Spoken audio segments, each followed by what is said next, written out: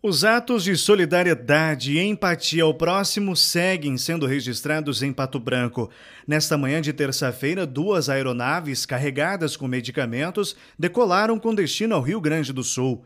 As viagens de hoje não foram as primeiras desde que um grupo se reuniu para enviar mantimentos ao estado gaúcho. Primeiramente, a gente começou através de outros colegas, outros amigos que estavam se deslocando de carro para lá né, para atender as demandas que estavam existindo no Rio Grande do Sul.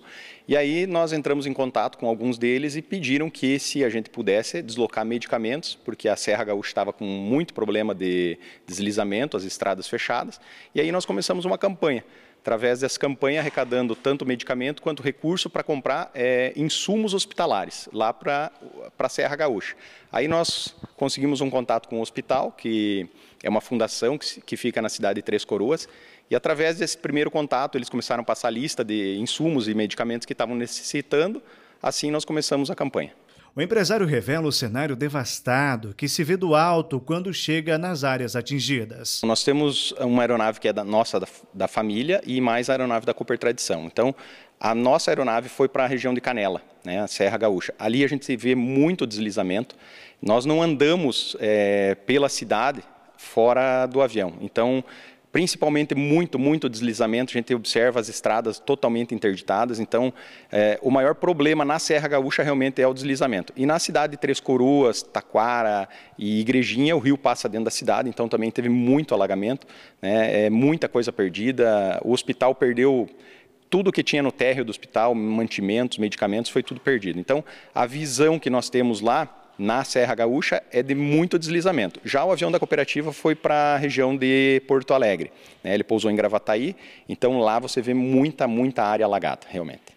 Neste momento, o foco de insumos é medicamentos mas já foi encaminhado para o estado rio-grandense e outros materiais. A primeira viagem que nós fizemos na quarta-feira, nós levamos principalmente insumos é, hospitalares, seringa, agulha, é, material para é, primeiros socorros. Então, essa primeira etapa foi assim. E aí, durante a semana, a gente conseguiu mais outros aviões de, do pessoal do Clube de Aviação, né, e bastante doação do pessoal dos clubes de tiro aqui de Pato Branco. E aí é, é, começou uma campanha através dos médicos. Nós começamos a chamar os médicos, amigos, olha, vocês têm bastante material nos consultórios, vocês ganham dos laboratórios, amostra grátis. E aí começou uma campanha que a gente ficou, é, até no sábado nós, nós arrecadamos uma tonelada de medicamento. Então são de uso geral, são muito variados. Fernando Martinello é piloto de aeronaves. Conta que a situação climática afeta a chegada de mantimentos pelo céu. Numa das viagens a Canela, foi um dos únicos pilotos a conseguir pousar. Foi muito rápido porque a gente estava a manhã inteira esperando melhorar. Aí o Marcelo, que, que é baseado lá em Canela, falou: Fernando, agora está com uns 1.500 pés. Falei, ah, então vou aproveitar agora essa janela, era meio-dia. Aí decolei a uma daqui. Cheguei lá, entrou um, uma, uma pancada de chuva com nevoeiro. Aí ele falou no rádio e tal. Eu falei, mas cara, já tô aqui, vou tentar uma vez, né? A primeira eu remeti, que entrou um banco de nevoeiro bem na cabeceira lá. Aí dei a volta e na segunda eu consegui pousar. Mas depois fechou e, e caiu água. Então foi, foi meio punk, mas era para ser. Porque tu vê a alegria daquele aquele pessoal recebendo a medicação que estava esperando insulina, que estava a bordo da aeronave. Nossa, foi muito gratificante, entendeu? Com essas duas aeronaves saindo hoje aqui de Pato Branco, já soma o total de oito que vão ao Rio Grande do Sul entregar diversos insumos. O principal deles, medicamentos. O cenário que os pilotos encontram quando chegam no estado gaúcho é realmente de entristecer. É de arrepiar. E do outro lado, lá no, em Belém Novo, também que eu levei, é o setor leste da cidade, lá de Porto Alegre, eu dei a volta ao redor, passo pelo Guaíba, Eldorado ali, tudo alagado. É, as, os agricultores ali de, de arroz, tudo debaixo d'água, as casas, assim, dá um negócio ruim, parece estar num cenário de guerra, sabe?